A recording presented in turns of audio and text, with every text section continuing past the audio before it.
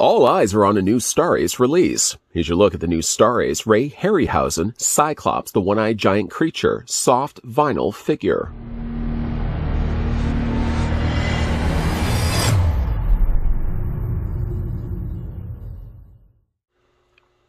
Ray passed away in May 2013, but his legacy lives on through his collection of over 50,000 objects gathered throughout his long film career. The foundation has been established to protect and promote the life's work of special effects pioneer Ray Harryhausen and to educate future generations on the art of stop motion animation. Since Ray's death on the 7th of May 2013, and the acquisition of all of Ray's entire collection bound the foundation, the trustees are committed to continue Ray's hopes for the future and protecting and conserving Ray's name and his unique reputation and contribution to the world's film history.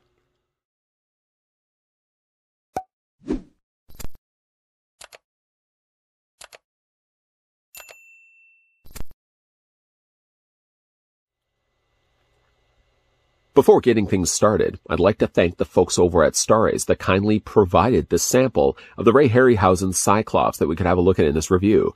They were also kind enough to send over the deluxe version, which means not only are we going to be able to look at the Cyclops, but the rather elaborate accessories that come along with them as well. Like, for example, the thing that you're probably looking at right now, just to his far right. This rather intricate looking display stand that we'll pick up right now. And it's not until you actually pick it up do you realize there seems more weight here on the base than there is actually on the Cyclops that's going to go on top of it. Getting a closer look though at the details of just the base alone. Of course, you have that beach shoreline where Sinbad battles the Cyclops, and I think it's been replicated rather nicely here as a display base. Not only does the terrain look like sand, but then off to the side you sort of see like little limbs and fallen parts of trees, like one long one here, little tiny rocks, not to mention this rather elaborate looking rock face that's just off to the side. I feel like I could almost even spend a lot of time just talking and looking at the display stand, as there's certainly a lot to take in.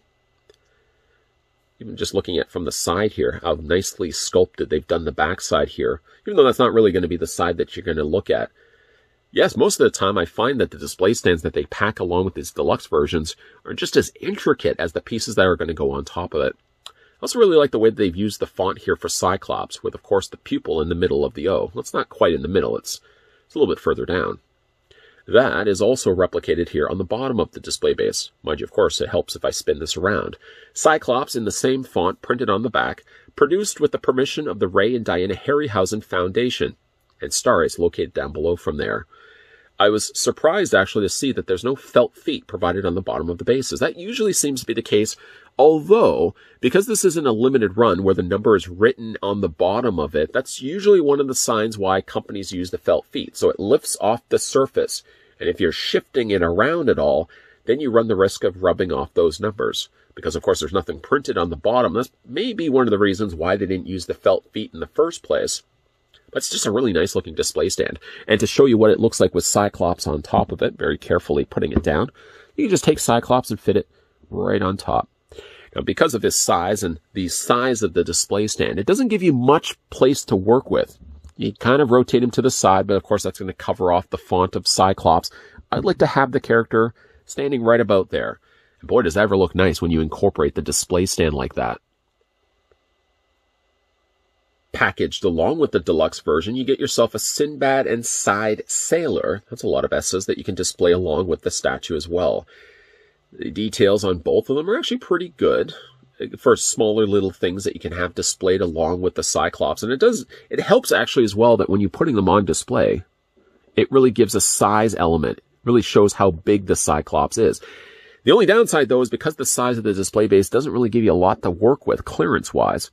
You really kind of have to put Sinbad and the Sailor sort of underneath the Cyclops if you want to use the display stand. I mean, really, you could easily have them over here, just off to the side like this. And that works as well. It just means that they're not going to be contained onto the display base. So kind of would have been nice if they had made the base a little bit bigger to accommodate both the Cyclops and Sinbad and the Sailor. That being said, though, once again, picking these guys up, you'll notice as well that these have holes in their hands, and there's a reasoning for that. This guy will start first. I think this is the side sailor. Why do I keep saying side sailor? He comes included with a spear a spear for the side sailor. I'll stop doing that. You can just take the spear, feed it through the one hand. I find it helps as well that when you're doing it, sort of twist it to help navigate it through the holes. And then from there, you get it to the bottom hole there and fit all the way through. And this is a, a, softer, more pliable plastic, but I would still be careful of that not snapping on you. So that's that one. And then we'll take him, which I think is the Sinbad of the two, and he actually comes included with a little tiny sword. You can take the sword and fit that into his hand, and again, if it helps at all, just twist it a little bit to get all the way through the hole there. And again, you can just display them along with it. Again, my only criticism is the fact that the display stand isn't large enough to accommodate both the Cyclops and the Sinbad and Sailor. Unless you have Cyclops brought a little further back like this, it's almost the case where if the font wasn't there, you'd be able to stand them. You know what? Let's put, let's put them over here. It's just really close quarters. That's all. And especially, especially where I've got the sailor right now. That's probably not the place where you'd want to have a spear, but I guess, yeah, you could display them on the stand, but the stand is just, it, it's just not big enough. It's just not really big enough to accommodate everything. Last, but certainly not least, the Cyclops statue comes with this big giant swinging club, which by the way it's sculpted and painted, it looks like the Cyclops literally rooted a tree from the ground, a full-size tree, and decided to lodge all these spikes in the top of it. Because getting squashed by Cyclops club isn't bad enough, you gotta worry about spikes on the end of it as well. The thing I like about the club is the fact that you don't have to put it into the Cyclops' hands. In fact, I was just to take this away right now and you look at it, it doesn't look like his hands have to be holding anything. Nor have they sculpted the arms where they're up, like he's supposed to be in a swinging pose. So really, you can decide for yourself to leave the club out of his hand or to have it displayed with the club for obviously the purpose of this review. We're going to take the club, it fits into this hand, by the way, because this hand here is too small of a grip. So you can't fit that in there. But you can actually even very easily navigate this into his grip. Just hold on to it a little bit as you're doing it. You don't have to have it all the way in either. And just spin this from the side so you can see what it looks like. Yeah, that looks nice to have that with the Cyclops. Again, you don't have to have it. So again, if I just took that right out right now, it looks like that he's just got relaxed hands. So you can decide for yourself to have it with or without the club. I'm kind of leaning towards with the club myself though. Normally, I wouldn't recommend getting this close to a Cyclops, but under the circumstance of being able to actually get in there and show you guys the very meticulous sculpting and paintwork that Star Ace put into the statue, you're gonna have to make the exception. Now, we have looked at other Star Ace Harryhausen pieces in the past. If you haven't had yet the chance to check out those videos, feel free to give them a watch after this review. But I find of all the characters that Ray Harryhausen has been known for over the stretch of his career, the one I seem to have the softest spot for is Single-Eyed Cyclops here. I don't know if some of that is attached to a childhood memory of watching Sinbad when I was younger, but I always remember seeing the Cyclops walking on the beach and the sailors having to fight against him. Maybe it was a childhood memory. Whatever the case may be, I have a personal soft spot when it comes to Cyclops. You can imagine then my excitement when finally Star Ace announced that they were going to be doing a Ray Harryhausen Cyclops. I think of all the ones that they've done so far for Ray Harryhausen's works, the Cyclops was the one I had the most interest in picking up. Now, looking at the finer features of this statue, there's certainly a lot to take in. I guess one of which, the main selling point of this particular statue, is it does actually have a trackball eye. Before we get, of course, to the trackball eye, I also want to show you he does have articulation in the mouth, so you can open and close that showing a very wet looking tongue on the inside and individual, almost rock shaped teeth also discolored on the inside of his mouth. So he does have that as a function. You can open and close it. But the other thing, of course, mentioning already the trackball eye, go ahead and just remove the lower mouth. When you remove it, you'll see that there's four pegs and they fit into four equally sized holes. There also seems to be a magnet there too as, as well, because when I put the mouth really close to the face, it almost as if it sucks it in like a black hole, and it really stays in place. Anyways, I'm going to go ahead and just remove it. I'm going to put that to the side. I know what you're going to think. He's going to forget about it. There's no way I'm going to forget about it. Of course, he's missing a mouth now. Anyways, if you look at the inside, it's kind of hard to see because it's so black in there. There is actually a joystick. Let me see if I can get my finger in there so I can pull it out just a little bit. I don't know if you guys will even be able to see it, but there is, take my word for it, a joystick on the inside, and that will be able to move the eyeball around. Let's get my finger on it here. There we go. You can have it down, you can have it up, forward and back. Basically all the full rotation the eyeball is capable of doing, providing you can actually get your finger in there and touch to the joystick. There it is right there. You can probably see it. Looks like a little white tonsil. So that is really already a nice selling point. I don't even think the statue necessarily needed to have a joystick. The statue's sculpting and the paint alone, I think is more than the price of admission. I think it's simply just having the trackball eyes, basically the icing on a cake. Anyways, we're going to go ahead and take the articulated mouth. We can put that back in. Just fit it against those pegs. We'll fit it into those pegs. And again, I feel like there's a magnet holding things in place as well. Looking at certainly the sculpt work on the face, it looks like he's made of stone in some of the areas, like his head here. We have really rough looking skin. Painted in some areas dark, further down here on the bottom of his chin, and of course the area around his mouth as well. It kind of looks like he's got stubble. Slightly lighter brushed paint here on the front of his nose. Very dark brown paint around the areas of his eye.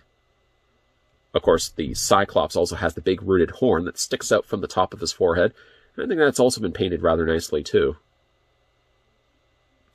Now, when we look at the head sculpt, it has a much more rougher looking surface to it. And yet, when you look at the rest of the body, or at least this part of the body, the only way I can describe this, and I'm hoping that you guys can follow along with me, is when you have really wet mud. That's usually what mud tends to be. It's wet. But when mud starts to dry under a really hot summer day, it tends to crack and leave these little crack formations. And I almost feel like the lower, at least this part of his body, looks like it's almost dried, cracked mud. That makes any sense. Um, the sculpt work on the arms and just like the torso as a whole is fantastic. I love the little wrinkles on his neck, for example, little pulls of, of skin on the side of his body. He's even got like little veins, veins on his biceps. All these protrusions of what almost seems to be like warts sticking out from the shoulder, the forearm, also into his hand as well. Spinning around to the back so you can see there's a lot of good color happening here. Starts primarily with like a beige, yellowish beige, but then over top of it, they brush like a darker gray. There's a few little areas that you can kind of see there that are brushed with like a almost like a red paint. You can see a little more of that red paint right around here. I like that it's not just one color. And I think in the movie, actually, he's a little bit more of a reddish color than this. They've decided to actually go a little more of a creamer color. And actually, I think it works pretty good with the sculpting of it continuing the trend of really nice looking sculpting, of course, we get to the lower half of him, and this is kind of more mimicking a centaur. Not only is the sculpt really good, but also the, again, those layers of color. It's the layers of color that really does give it a level of depth to it, almost as if you'd be able to run your fingers through the fur. You've got the more darker rusted red. I don't know why I'm drawing so much attention to around his groin area, but very much a darker red some browns added in there as well. And of course, the main thing, the, the star attraction here is these little brushings of almost like a very orangey yellow paint over top of it. It's that level of paint that adds the contrast that I really like about the statue. I mean, even though he looks from, from uh, at a glance, really, he looks like he's a very muddy looking character. It's not until you really get him up close like this do you really see there's very fine paint applications that Star Ace has put to this piece. And then, of course, we can bring in the statue base once again. Just put him down, or put the base down here. And then we'll do our best to kind of bring Cyclops as far back as we can get him, just because I want to free up a little more space, if I possibly can, to bring in once again Sinbad. Get him right there. And we can also bring in the sailor. Get him right there. Here we go. I guess the last thing we can also do is put the club in his hand too. And I gotta say, bringing the camera up a little bit, that is a really nice looking rendition of the Sinbad Cyclops. Again, initially I may have thought like the display base was too small. I guess maybe it's just enough, uh, just enough clearance. If you have like the cyborg, cyborg, Cyclops further back, then I guess it does a lot enough space on the front that you can have Sinbad and the sailor, and it's not it's not too close of a quarter when it comes to that spear being, well, uncomfortably close to the Cyclops. I do really like the way that this piece came together and the beauty of also getting the deluxe version of him is the fact that you are getting the display base and you are also getting the little side figurines that could be displayed along with him. Not only does it bring a little bit more to viewing it on a display shelf, but it also gives them a proper scale. You get a better idea and a better feel for how big the Cyclops is when you have it displayed with smaller, regular sized humans. Earlier into the review of this statue, I may have said that the display stand was way too small. But I guess now looking at it, if you do have the Cyclops far enough back on the display base, then there is enough clearance to put Sinbad and the sailor in front of him, and it doesn't look like it's too close of a quarter. Certainly when it comes to displaying this guy, I would definitely recommend if you guys are looking to get the Ray Harryhausen Cyclops, go the route of getting the deluxe version because yeah, you're going to be getting the benefit of having the base and the extra little figurines that you can have displayed along with it. It's not to say necessarily that just by itself the Cyclops is disappointing. Quite the contrary. The coloring, the sculpting, and the fact that he does have the trackball eye is something really I wasn't even expecting, nor really necessarily needed on the statue, but the very idea that you can get in there with your finger and move around the joystick to move around his eye. Man, that's a nice touch. Really glad to see that Star Ace incorporated that. Now, Cyclops, as far as I know, is available right now if you guys are looking to pick this one up and add it to your collection. A big thank you again to the folks over at Star Ace that provided this sample of the Ray Harryhausen Cyclops one-eyed giant creature. I'm not just, I'm not labeling him as a one-eyed. He actually says that in the back of the packaging. The Cyclops one-eyed giant creature, soft vinyl figure statue. If you guys are new to this channel, enjoying all the content you're seeing, be sure to hit that subscribe button down below. Turn the bell notification on and make sure yes, yes, yes you're coming back to this channel on a regular basis because there will be more statue reviews and more Star reviews lined up and coming your way. And as always, thanks for watching. See you guys next time.